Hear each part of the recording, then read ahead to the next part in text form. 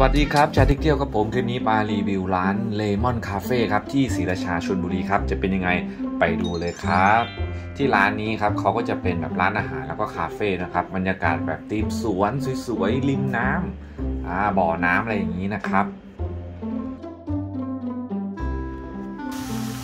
ซึ่งก็จะมีกิจกรรมแบบให้อาหารปลาแบบนี้นะครับคุณเบลกำลังให้อยู่นะครับนี่ครับปลาเยอะมากครับ แล้วก็ถ้าใครกดปลาก็ระวังเลยเสียปลามันคงไม่กำหนดอาหารเลยหรอ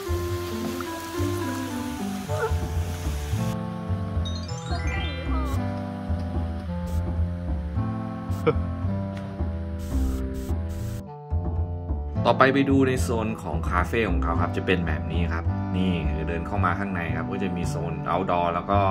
ด้านในด้วยนะครับ ด้านในจะเป็นแบบนี้ครับ นี่เป็นไงฮะ สั่งกาแฟสั่งอาหารได้เลยครับ มีครบครับผมมาดูในส่วนของเมนูกันบ้างครับ เมนูของเขาเนี่ยก็มีหลากหลายมาก ๆ เลยนะครับ นี่ครับทั้งไทยทั้งเทศนะครับ มีหมดนะครับ ราคาก็อยู่ประมาณนี้เลยครับ เพื่อนๆดูราคาได้เลย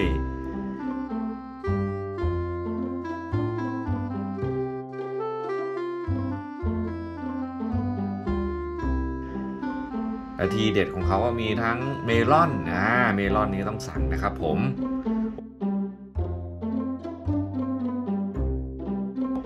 โอเคครับสั่งเรียบร้อยนะครับ ระหว่างรอเนี่ยเดี๋ยวเราไปถ่ายรูปกันดีกว่าครับ ไปครับ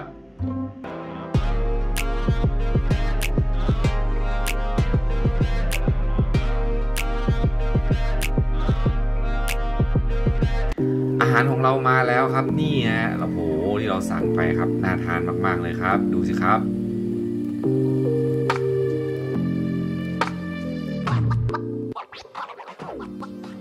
เดี๋ยวเราไปชิมกันดีกว่าครับ อันแรกเลยครับก็จะเป็นสเต็กหมูนะครับที่ผมสั่งมานะฮะนี่หน้าตาน่าทานมาก เดี๋ยวลองดูเนื้อในครับ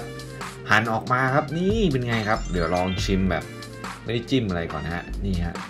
อืมอร่อยครับ โอเคเลย เยี่ยมเลยครับ หรือใครชอบแบบราดซอสก็จะมีให้นะครับ เราเลือกซอสได้ด้วยนะครับ นี่ครับแบบนี้ฮะไปต่อกันที่สลัดอะโวคาโดครับ ซึ่งจานนี้เนี่ยเขาเสิร์ฟมันมะเดื่อนะ ผมจำไม่ผิดนะ มันน่าจะเป็นอะไรสักอย่างมะเดื่อหรืออะไรนี่แหละ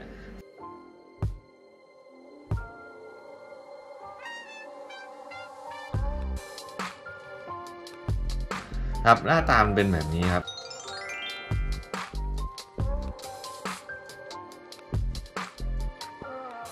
ซึ่ง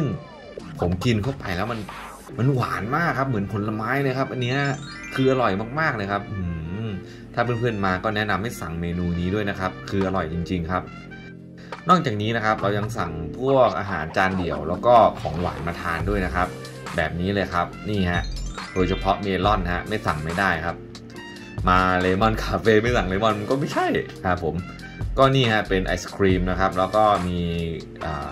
บิงซูนะครับนี่ครับมีเนื้อด้วยฮะกินกันเพลินครับทั้งผมทั้งคุณเบลนะครับ นี่นะฮะโดยรวมของเมลอนคาเฟ่นะครับก็จะเป็นทั้งร้านอาหาร แล้วก็กาแฟเครื่องดื่มนะครับ บรรยากาศสวนสวยๆครับ มีน้ำมีอาหารปลานะครับผมสามารถมากันได้เลยนะครับสำหรับใครที่ชื่นชอบคลิปนี้นะครับ อย่าลืมกดติดตามกดไลค์กดแชร์ช่องจัดทราเวลนะครับ แล้วเจอกันใหม่คลิปหน้าครับผม คลิปนี้ขอลาไปก่อน สวัสดีครับ